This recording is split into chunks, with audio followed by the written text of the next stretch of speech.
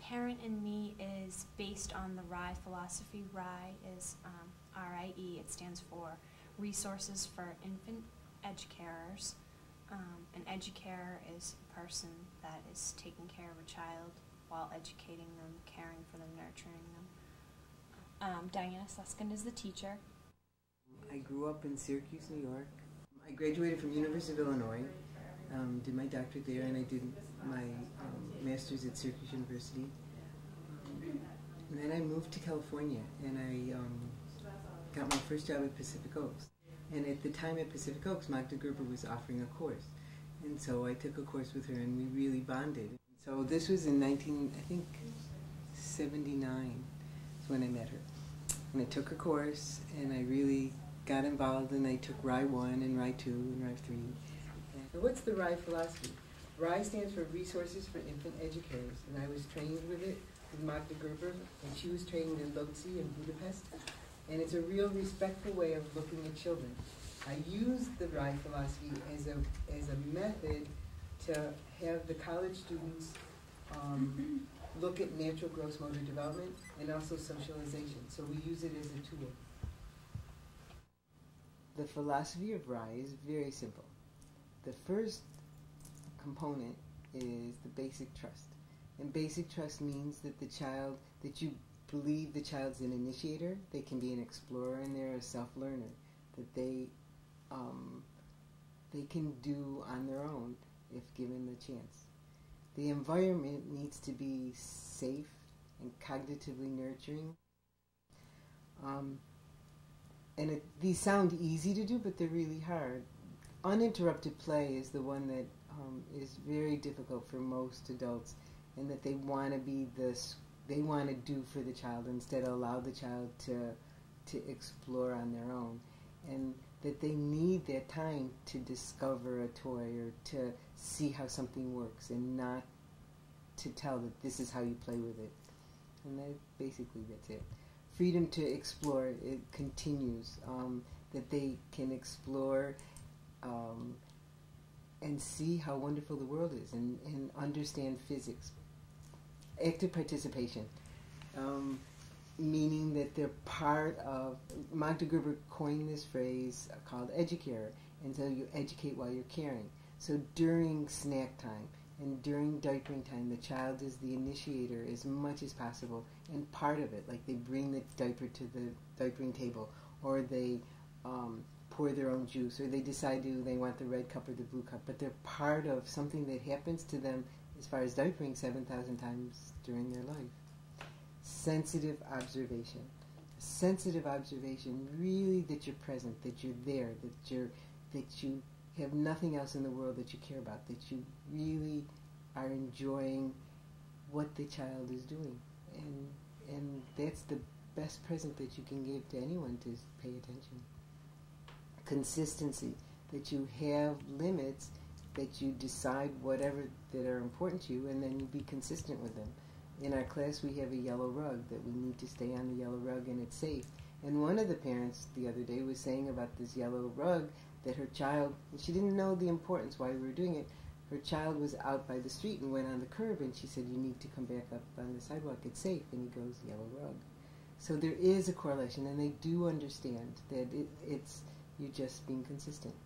And then the bottom line of RIE is respect, and that our whole world needs to really res- respect people, um, and um, and how how do you show respect? You know, how do you really show respect to another person? Um, it's a te- it's a lifelong process. It's it's one thing to read the books and to learn about it, but to see it acted out in practice really just like it brings it home. It makes it like real, and you just get it. Um, we have the um, parents and the other students sit around the rug so that we can observe. It gives the children quality time to be observed, and they know that they're there for the support that they need and for anything that they, the children, if they need to go to their parents. They know they're there, and we just observe. And we usually wait about 10, 15 minutes, and when we speak about what we've seen, and it's just a real learning process. We've been doing this for a long time. I do this at home. We have a room like this and just watch her. And I think it's uh, also good for me to get to spend uh, quality time with her. Like I, in the morning, I'll get to do it for 15 minutes before I get to go. So 20 minutes, whatever. So it's it's a good way to kind of get as much quality time with her as I can, even though I'm not there entertaining her. I'm just sitting doing the same thing that we're doing here, but watching her play with all her toys. The big thing with the toys that we provide is that they're not big, expensive toys, but they're really basic and simple. There's metal bowls. Anything that makes sound is something that the child can see where the sound comes from and that it's not covered up. So if it was a rattle, you could see what was making the rattling noise. Um, any climbing structures that we have are small structures so that the child can climb up and down them themselves and not have to be placed in anything. There's no swings that the child has to be placed in. Um, everything is basic. There's orange juice lids, big water jugs that the children can put. We have curlers in so they can learn their basic skills without us having without us teaching them. So they're totally free to explore the toys how they want. Um, self-induced movement is let letting the children move on their own without the help of a walker, a swing, or a bouncy seat, or any of that kind of equipment. It's just laying them on their back and letting them move whatever part of their body they're ready to move whenever they want to move it. And they'll do everything on their own. They'll they'll sit up when they're ready, turn over. They'll crawl when they're ready, and they don't need any help with that at all. They'll learn it on their own. I, I'm really not into television or the computer or the flashcards or uh, I've been just as turned off as the RIE, uh, you know, Magda Gerber and whoever invented that with all this pushing to have them perform and really into just letting them be um, children and letting them be people. and I um, was first interested in it because she was sort of a colicky baby, cried a lot, and I was just looking for anything that might uh, give me some insight and help. So after she became a certain age and, and was more on her own, um, crawling and walking and stuff, I found a loss as to how to interact with her because before I was just carrying her everywhere. And so she was with me whatever I was doing. I did curtail my activity somewhat, but not a lot. So it was just um, put her in the sling and take her with me, and that felt very good for me. Um, did a lot of walking and, and uh, but then after she was out of the sling, it was like, okay, now what am I going to do um, to fill the, all that time? Um, I need to interact with her more personally and at a more conscious level, I guess. So the RIE kind of was, I, I was just exposed to that just when I was asking the question, okay, now what do I do? That's- Having to really respect her, and instead of doing things for her and um, quickly moving through the motions of changing her, feeding her, it's really taught me to involve her and talk to her and let her know what I'm doing and just really treat her as a little person and not just um, something that you do things for or do things to. And um, I think it's helped her to um, be a little more independent. I mean, she still needs me, but she can kind of go off and, and do things on her own and for herself and not be doing things just for me and for my attention. She um, is a lot more capable of playing on her own independently. Um, her curiosity, I think, has been heightened. She's not fearful of trying new things and looking at new toys or new spaces.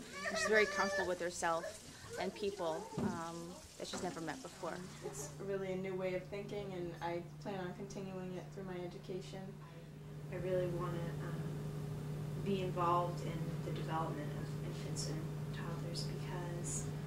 um, I think that's where the foundation starts. I think if you can give them a sense of power and self-control and importance right from the beginning, then they're golden for um, practically the rest, the rest of their lives, essentially, because they can make good decisions and they, they feel a self self esteem, self confidence having a child in a couple months, so this is all very relevant to me, and I feel very lucky to have happened into the class. I